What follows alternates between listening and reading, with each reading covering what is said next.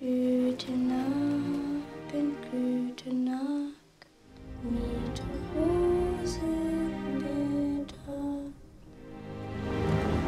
Come, Liesel, meet your new parents. Your Majesty. This is Heaven Street, your new home. You are? Liesel Memminger.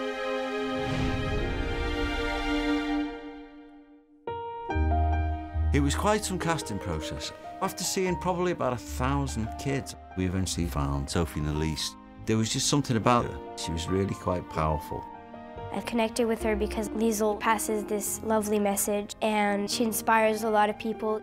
Liesel is a huge undertaking. It's a very emotional part, and I have to say Sophie Nélisse is quite a find.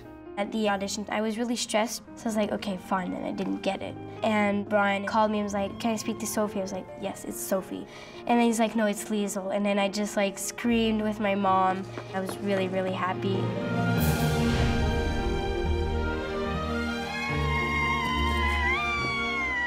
The great pleasure of doing this film has been working with Sophie.